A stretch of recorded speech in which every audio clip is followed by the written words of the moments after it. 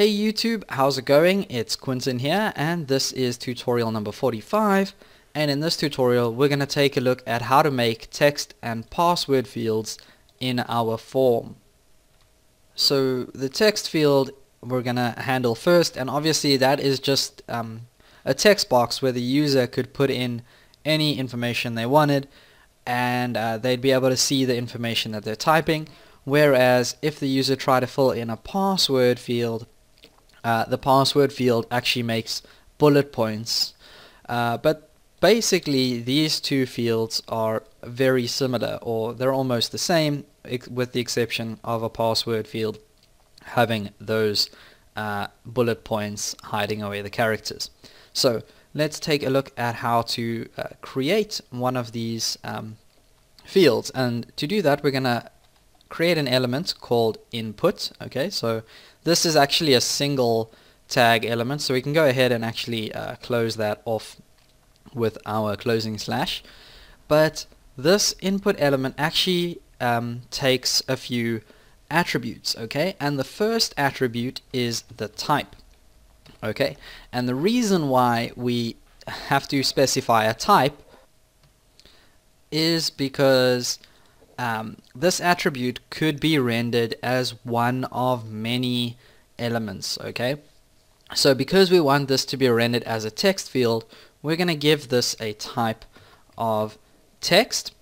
And then I'm going to go ahead and give this a few other attributes because there are a few attributes that we can um, uh, give to this input element.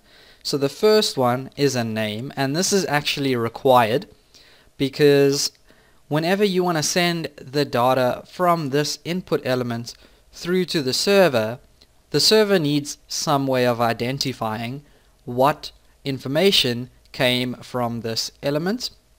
Okay, and the way it will do that is by looking at the name. So if you want to give this a name, then you could go ahead and give it a name of anything you want. So I'm just going to say uh, text field and uh, more than likely you would want to give this a name that actually means something. So uh, let's say uh, you wanted the user to put in their name in this in input element. So we could go ahead and say name just before here as a label. And then that would be uh, prompting the user for their name. Then we might want to give this input an element of uh, name or uh, let's say we're asking for the username, then we might give this a name of username. So something that actually corresponds to uh, what we're expecting from the user. Okay, so let's go ahead and run this in Firefox and take a look at what that looks like. Okay, so here we're asking the user for a username and we have our text field appearing uh, next to this. So if I went ahead and typed in my name then I could go ahead and do that and you can see that it appears uh, just fine. Okay, but right now we can actually type in a whole bunch of mumbo jumbo and it'll just keep going. So um, you can see that I did indeed fill in quite a lot of data there. So let's say we wanted to give this a limit, like the user could only fill in 30 characters or something. Well, we can do that with an attribute. So if I go back to uh, notepad over here, I could go ahead and give this an attribute of max length and I could set that equal to uh, 10 and that means that I'd only be able to fill, fill in 10 characters.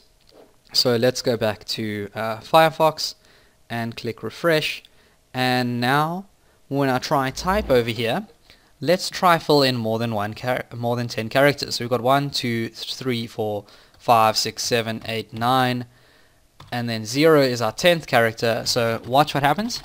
I'm typing, but I can't put anything else into this um, input element. So that is how the max length uh, attribute works. And again, uh, let's go back here and I could give this another attribute called value and value basically determines what the default value is going to be in uh, this uh, input element okay so let's say I give this a value of name then when I save this and go back to Firefox and click refresh, well, I'm actually have to rerun this entire thing because I've filled in that already, don't I? Let's just do that. Run in Firefox.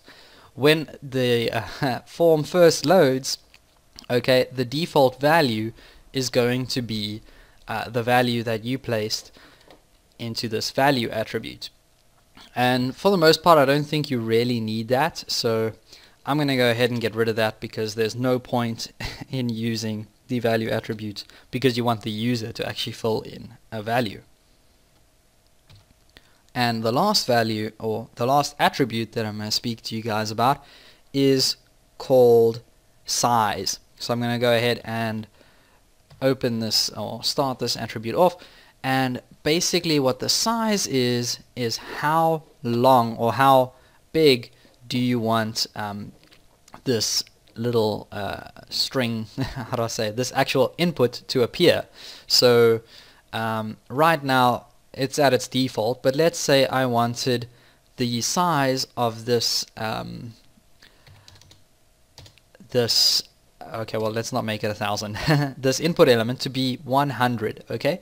Then that means it's going to be 100 characters long. So not um, pixels or anything like that but actual characters as in characters that you can fit inside of um, this actual input element. So let's go back and click refresh. And as you can see now it is much bigger. So that is a size of 100 and if you were to type 100 characters out you would find that they'd probably fit in that uh, size.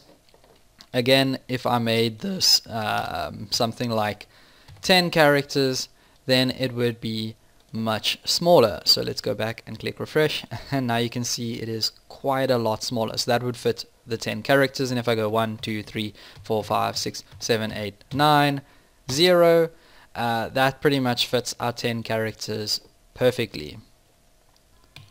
And you're probably thinking, okay, well, we're seven minutes into the video and we still haven't touched on the password field. And like I said, the password field is pretty much exactly the same as the text field. So we could go ahead and uh, duplicate this and I could say that I'm asking the user then for their password over here. Okay. And they'd fill in their password. But this password um, field can take all the same attributes so the name could be uh, password because you know obviously uh, the name has to be unique but max length could be the same size could be the same and actually you might want them to be the same so that they look the same the only difference that we have to then uh, change is the type which I'm going to change this to password and um, what that's going to do is just make bullet points appear when I start typing. So now that we've saved that, let's go back over to Firefox and click refresh. And now I've got my username over here where I could fill in a username. So let's just say I filled in a username of Quentin. I could then fill in a password. And as soon as I fill in a password, one, two, three, four, five, six, you can see that this appears as bullet points. But other than that, it will take all the same attributes or can use all the same attributes as a normal text field. Okay, so that's all I have for you guys in this video. And if you enjoyed it, then don't forget to comment, leave a like, or subscribe if this is the first time you watch one of my videos. And I will see you guys next time.